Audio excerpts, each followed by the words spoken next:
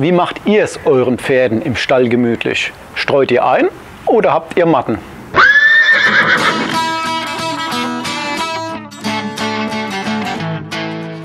Wir haben bei uns im Stall eine dicke Matte mit Leinenstroh. Leinenstroh, klar, weil wir, wir ähm, Allergiker dabei haben und dieses Jahr komplett staubfrei ist. Und jetzt hat sich uns mal die Frage gestellt, warum könnte man das Einstreu nicht auch gegen Matten ähm, ersetzen? Hat natürlich viele Vorteile, die Matte. Ähm, hauptsächlich beim Abäppeln. Das heißt eigentlich nicht mehr abäppeln, sondern nur noch abkehren. Und das würde natürlich die Arbeit enorm erleichtern. Wichtig bei den Matten ist, dass sie dick genug ist und das hat eigentlich auch nur den Grund, dass sie dadurch schwer genug wird. Weil klar, wenn sich die Pferde drauf bewegen, sollten sie ja nicht verrutschen. Und das kann man wirklich nur gewährleisten, indem sie halt schwer genug ist.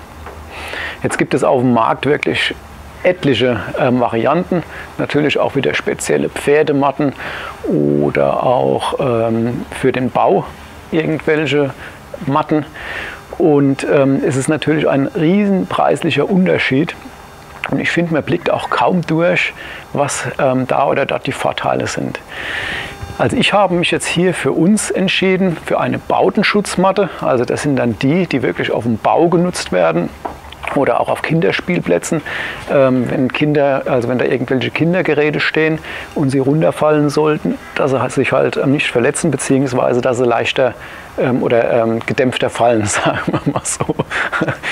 Und diese sind also preislich ähm, erheblich billiger als die ganzen Pferdematten, die halt wieder angeboten werden, wie immer. Ich muss allerdings auch dazu sagen, dass also die ähm, Matten für Pferde wirklich auch sehr gut durchdacht sind. Da gibt es ja diese Puzzle-Dinge, also ähm, schon ein tolles System, aber wie gesagt, ziemlich teuer. Im Leinenstroh nicht gerade so der, die günstigste Einstreu. Und man braucht ja wirklich ähm, schon ähm, einige Pakete ähm, im Monat. Im Gegensatz halt die teuren ähm, Matten. Also das müsste man sich dann wirklich mal ausrechnen, ähm, ob es finanziell vielleicht ein Vorteil ist, keine Ahnung. Ähm, und natürlich auch, wie der Wohlfühlfaktor dann hier wäre. Ob sich die Pferde jetzt wirklich lieber auf so eine Matte legen oder lieber ins Einstreu. Die andere Seite haben wir mit unseren Heuhackschnitzeln jetzt die Erfahrung gemacht, dass die Pferde eigentlich ähm, am liebsten draußen schlafen und hier den Stall eigentlich nur noch als Toilette nutzen. Was ich eigentlich auch noch sehr positiv an diesen Matten fand, ist, ähm, dass die Verletzungsgefahr also wirklich ähm, minimiert wird. Wir haben also seitdem Neisha hier ist ähm, schon manchmal ein bisschen Unruhe. Sie probiert halt immer die Älteren so ein bisschen aufzumischen und gerade hier an so Engstellen wie der Eingang hier vom Stall wird dann manchmal schon sehr, sehr eng. Das heißt also, wir hatten hier auch schon den Fall, wenn sie also richtig hier gejagt wurden, dass sie hier natürlich auf dem blanken Beton ausrutschen. Und das hätte man dann eigentlich mit so einer Matte auch sehr gut im Griff. Ich wollte das Ganze jetzt einfach nur mal antesten, um zu sehen, ob es überhaupt funktioniert, weil ich hatte also wirklich die größten Bedenken dabei, dass also Betonboden und Matten eigentlich nicht so gut zusammenpassen. Das hat natürlich den Hintergrund, eine Matte saugt nicht und das heißt, wenn die hier hinpieseln, bleibt das Ganze natürlich unter der Matte liegen und fängt irgendwann schrecklich an zu stinken. Ne, Pitchy? Und komischerweise ist es ja immer so, umso gemütlicher man den Stall macht, umso gerne gehen sie dort auf die Toilette. Also ich habe mir jetzt hier zum Testen mal eine Bautenschutzmatte in 10 mm bestellt. Die gibt es auch 20 mm und 30 mm. Allerdings dann braucht ihr fast einen Gabelstab, um die eben ähm, zu bewegen. Was aber toll ist, die gibt es also auch als Meterware auf der Rolle.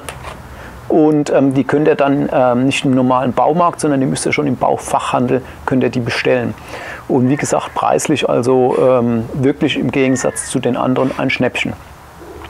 Jetzt habe ich hier unsere Matte, wie gesagt, zum Test einfach mal hier an eine Stelle gelegt, die also sehr strapaziert ist, nämlich hier direkt an die Heuraufe. Und habe sie einfach mal ja, zwei Monate liegen lassen, um zu sehen, was passiert. Und dafür, dass es jetzt nur eine 10 mm ist, bin ich wirklich überrascht. Also sie liegt noch original so da, wie wir sie hingelegt haben. Also kein bisschen verrutscht. Und ähm, jetzt wollen wir mal drunter schauen, weil da habe ich ja dann wirklich den Schrecken bekommen. Also wenn man die jetzt hier hochhebt, sieht man also hier auch, ähm, tja, das ist eigentlich wie ähm, daheim beim Teppich, dass sich der Schmutz dann immer darunter irgendwie sammelt. Und sie ist natürlich unten drunter komplett nass. Ne, also ich weiß nicht, ob man das jetzt hier richtig sieht. Also sie ist wirklich komplett durch und durch nass. Auf der Oberseite zwar trocken, aber unten, wie gesagt, sammelt sich Pipi und alles, was dann eben so da rumfleucht.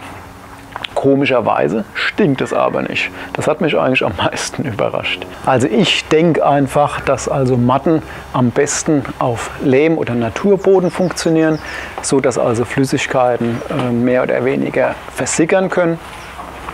Beton könnte vielleicht auch funktionieren, aber sie müssen dann das also wohl öfters mal ähm, gelüftet werden.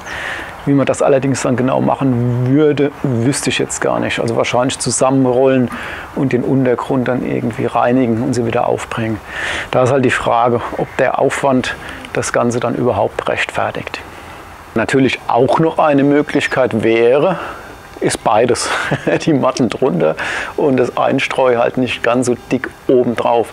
So dass zumindest also ähm, alle Flüssigkeiten irgendwo gebunden werden. Aber ob das jetzt effektiv ist, weiß ich nicht. Also es wird auf jeden Fall was bringen, Verletzungsgefahr technisch und ähm, denke ich auch ähm, für die Gelenke, dass sie hier also ein bisschen weicher dann stehen würden. Weiß es aber nicht, ob das dann effektiv oder sinnvoll wäre. Also ich bin jetzt wirklich etwas hin und her gerissen und überlege, ähm, ob es jetzt Sinn macht, den ganzen Stall damit auszukleiden oder beziehungsweise eigentlich hier nur den vorderen Bereich und hinten zumindest so ein bisschen Gemütlichkeitseinstreu ähm, noch zu lassen. Also ich werde das mal weiter testen und ähm, vielleicht habt ihr Erfahrungen gemacht oder ähm, andere Erfahrungen gemacht bezüglich Boden und so weiter. Und das könnt ihr mir gerne mal in die Kommentare schreiben. Also bin ich sehr gespannt drauf, wie das bei euch eventuell funktioniert. Also ihr wisst ja Bescheid, jetzt kommt wieder der Abspann. Falls euch mein Video gefallen hat, würde ich mich riesig für ein Like freuen. Noch mehr freue ich mich über ein Abo auf YouTube und ähm, so weiß ich doch dann zumindest, dass meine Videos ähm, euch gefallen haben. Ich freue mich und wir sehen uns beim nächsten Video.